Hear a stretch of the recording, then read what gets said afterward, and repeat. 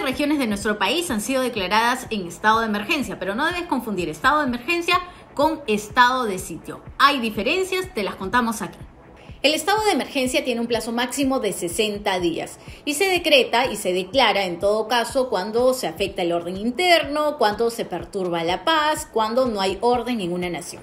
En el estado de emergencia se suspenden los siguientes derechos o en todo caso se restringen, así que muy atento. Derecho a la libertad y seguridad personales se pueden restringir o suspender. ¿Qué significa? Que te pueden intervenir en la vía pública o te pueden solicitar tus documentos o incluso llevar a una comisaría. Inviolabilidad de domicilio. ¿Qué significa esto? Que pueden ingresar a tu vivienda o a algún otro lugar sin una orden judicial. Libertad de reunión también limitado o restringido dependiendo de lo que se especifique en el decreto supremo y libertad de tránsito, que significa que a través del decreto supremo se especifican el horario en el cual las personas pueden circular o en todo caso si se establece un toque de queda, como sucede en estos momentos en Puno.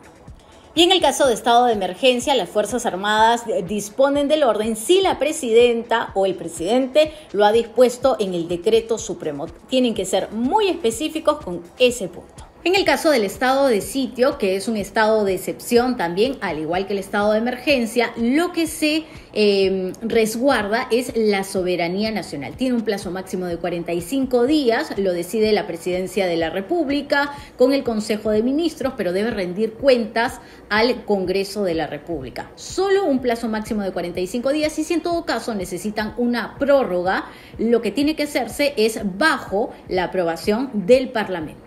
Lo otro, y muy importante en el estado de sitio, es bajo qué argumento se declara. Y son los siguientes. Invasión, guerra exterior o guerra civil, o peligro en todo caso que alguno de estos suceda.